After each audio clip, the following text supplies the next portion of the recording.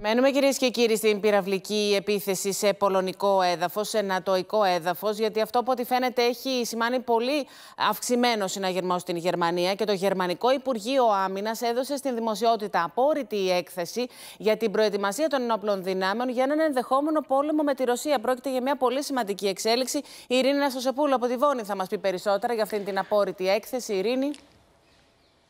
Καλό μεσημέρι εδώ κυρίες και κύριοι. Την αποκαλύπτει στις σελίδες της στο περιοδικό Der Spiegel, στην ε, διαδικτυακή της σελίδα.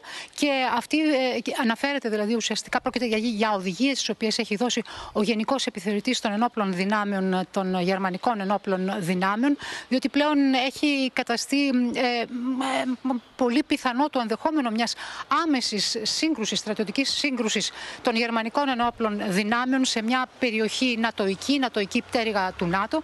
Ε, και αυτό το είδαμε τελευταία. Είδαμε ότι θα μπορούσε να γίνει κάτι τέτοιο. Τώρα, ε, και επειδή λοιπόν αυτό το, το ενδεχόμενο είναι πιθανό, η Γερμανία καλείται να παίξει ως ηγετική και μεγαλύτερη δύναμη της ε, Ευρώπης ε, σημαντικό ρόλο, δηλαδή να κάνει το στρατό της πιο ισχυρό, ε, να φέρει τις ένοπλες δυνάμεις σε κατάστασης έκτακτης ε, ανάγκης και επιχειρηματικής, κυρίως επιχειρηματικής ικανότητας και να τον ενισχύσει ε, έτσι ώστε να μπορέσει να προστατεύσει mm -hmm. τις χώρες τι Νατοικέ.